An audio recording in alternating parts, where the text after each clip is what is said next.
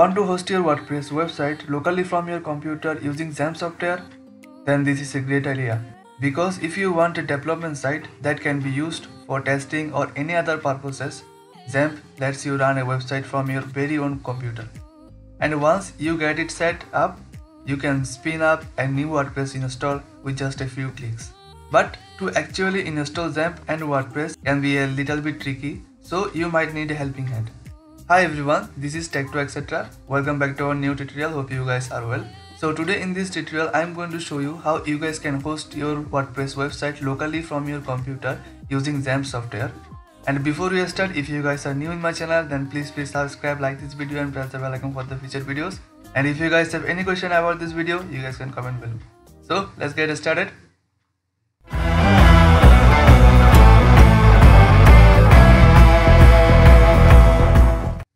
So for host your WordPress website from your local computer using XAMPP software, our step 1 will be download and install XAMPP software on our computer. So for doing this, let's go to our browser and search for download XAMPP. Now here we have to click on the first link and here you guys can see that we have our XAMPP versions here. So mine is Windows 64 bit so that's why I will click on this first download link. So click on this download now save. And after downloading XAMPP software now you have to install it in your computer. I already have installed in my computer so that's why I don't have to install again. So after installing XAMPP you will find this window. And from here you have to go to Apache and then click on start and then MySQL and then click on start. So after this one now we have to click on admin and this will take you to this website. Here you guys can see that we have our localhost php myadmin it means we are now in our localhost now from here you have to click databases. Now here we have to create a database name. So my database name will be wordpress web. That's it. Now make sure you don't have any space here. Then click on this create button. So now here you can see that i have created my database now click on this home button from here. And from here click on this user accounts. And from here you have to click on this add user account. And here you have to put a username. So I will put my username which is admin. Then here in our host name it will be localhost. And in our password section create a password. Retype this password. That's it and now scroll down. Here you have to click on check all. Then scroll down and click on this go button. So that's it guys. Now our step 1 is done. Now we have to go to our step 2 which is download wordpress. So here we have to type download wordpress. That's it.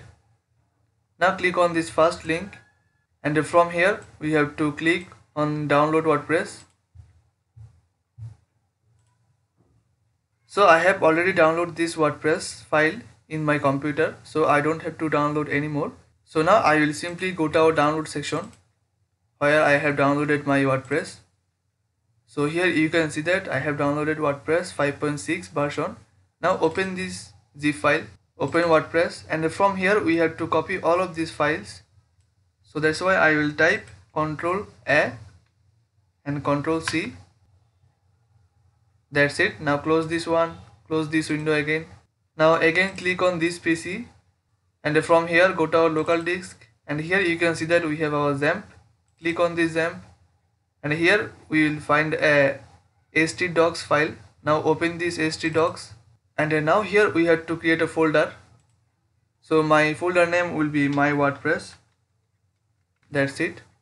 And inside this folder create another folder and this folder name will be our database name. So here you can see that this is wordpress web. So we have to create this one here also. So this will be wordpress web. That's it. And open this file and paste our wordpress files. That's it.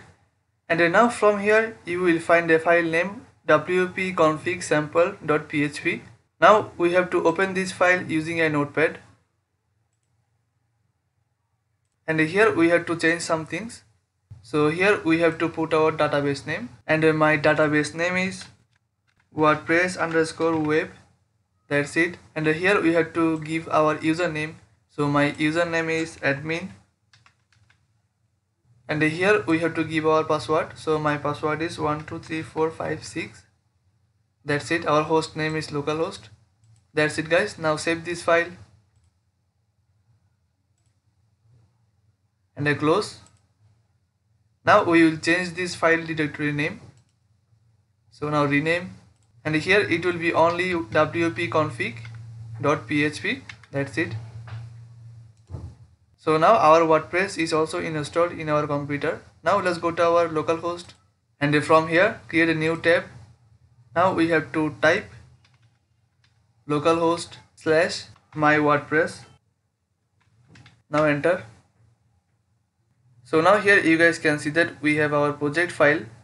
Now click on this project file. Now we have to select a language here. So I will select English. Now click on this continue button. Now here we have to give a title for our website. So my title name will be my blog and here you have to give your username. So my username is admin. And my password is 123456 and check this option. And here you have to put your email address. That's it. Now click on this install wordpress.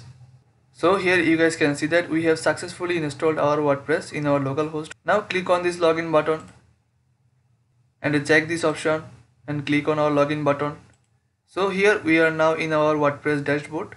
So here you guys can see that we have successfully installed our WordPress in our XAMPP localhost software. Now if you want to add a theme here, so now click on this appearance and click on this themes. Here you guys can see that we have a few free theme from our WordPress. You guys can choose any one from here. But I will add a different WordPress theme which I have downloaded a few days ago. Now click on this add new you guys can choose anyone from here. They are all free. Now I will click on this upload theme and I choose file. So in our download I have downloaded a file here which is 80 now I will select this file and open. And now I will click on this install now. So now here you guys can see that my theme has been installed successfully. Now we have to active this theme so that's why click on this active button. Now if you guys want you can visit your site. So for visiting your site simply click on this visit site. So here you guys can see that this is our default WordPress theme. And here we can't see any image and any text here because we didn't put any image and text yet. So for adding images and text here now go to our dashboard again now from here you guys can see that we have to install some plugins. So for installing this plugin now click on this begin installing plugins. And now from here select everyone. And uh, here we have to select install then apply. And uh, in a few minutes all plugins will be installed.